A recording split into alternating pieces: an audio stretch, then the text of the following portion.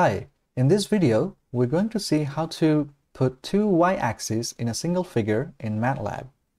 So at the end of the video, we're going to use or generate a figure something like this. So here you can see it has two y-axes. On the left, it has a blue sine curve, and on the right, it has an orange um, exponential curve. So let's jump back to MATLAB and see how to plot a single figure with two y-axes. So first, let's just define the x-axis variable, which is the angle for here. Let's say this goes from 0 to 2 pi with an increment of 0 0.01. So this is the array that goes from 0 to 2 pi with an increment of 0 0.01 the y-axis, the y1 should be defined as sine of x. As for example, we're, we're going to do that. And for another function, let's say y2 is an exponential function. And we're going to put semicolon to suppress the output.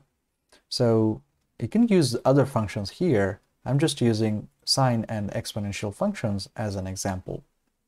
All right, now we're going to use um, a command that's called yyaxis that's going to define the two y-axis in our single plot.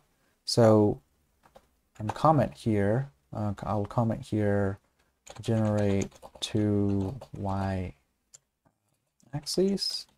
Okay, so the command is yyaxis left. So here, as I say yyaxis left, it means that whatever I put here, it will plot it in the y-axis to the left of the figure. So let's just say the left of the figure has plot x in the x-axis, so both has x common. So xm stays the same, and then it should have y1 because we want to put sine x in the left y-axis. Okay, and then if I say yyaxis right and plot here. So whatever I plot here, it's going to plot in the right of the y-axis. So now we'll say exponential function is in the right y-axis. So if I do that, and if I run it from the editor, you can see I have generated two different plots and the blue one uh, is the left axis and has the sine function and the red one is the exponential function and its values are in the right y-axis. Now, I haven't added any titles or any labels, so we can do that here. So to do that, um, I can say title, um, let's say pl plotting two y axis. So it doesn't matter wherever I put title, uh, and uh, X label because it's all common. So I'll put, I'll put here, let's say the X label, label is angle. Now, whatever I put Y label here, it's going to label the left Y axis because I'm in the left Y Y axis left here. So if I say sine wave, so that's going to put the label of sine wave in the left Y axis.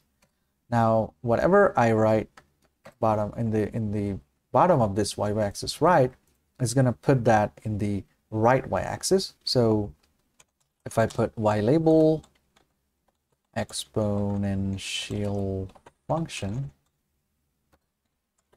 and let's run it. And now you can see it added the title and the x label also, the left y-axis has a label of sine wave, and the right one has exponential function. Now let's see how to add a limit in these y-axes. Now to add a limit, we can use the command called ylim for only adding limit in the y-axis. But if we use the ylim here after the yyaxis left, it's going to limit the left y-axis. And if we if we are going to use the ylim here, at the bottom of the y-y axis right, it's going to limit the right y-axis. So let's say here, if I write Y ylim parenthesis bracket, let's say Y ylim goes from 0 to 1. And now if I run it, it's going to limit the left y-axis, but leave the right y-axis as it was. As you can see, it goes from 0 to 1, and the right y-axis is auto for this case. If we add similarly um, here, the ylim, it's going to independently control the right y-axis. So let's say 500 for this. If I run it, now you can see it has limited the right y-axis as from 0 to 500. So from these uh, figure, we can see that we can use two different y-axis in a single figure. To do that, we have used yyaxis left, yyaxis right, and wherever we plot in the yyaxis left, it will be plotted in the left, left axis, and whatever we write on the bottom of the yyaxis right, it's going to plot and implement that in the right y-axis. So that's it for now. Um, thank you for watching. See you in the next one.